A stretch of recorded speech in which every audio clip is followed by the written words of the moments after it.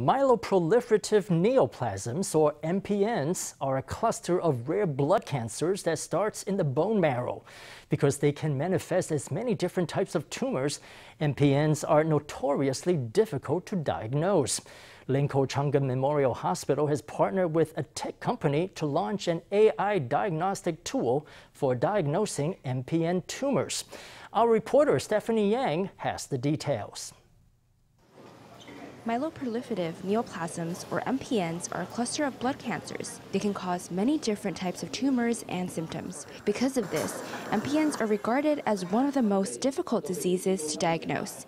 But a new tool developed by Chang Gung Memorial Hospital has a potential to improve diagnosis accuracy. AI the technology 的一个平台。The AI technology platform is integrated with a very large digital database of Linkou Chang Gung Memorial Hospital.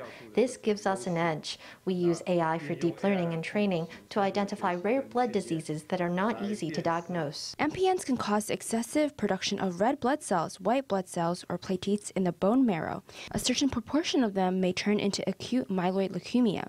Chang Gung doctors say that their AI diagnostic tool can help improve the survival rate of patients through early diagnosis and intervention. 所以我们每个月的话都有近万笔的呃病理切片要要诊断。We have nearly 10,000 patient slides to diagnose every month. We are currently the only hospital in Taiwan that fully digitizes the slides. If each glass slide is 0.1 centimeters thick, we've got 400 meters already. That's about the height of Taipei 101.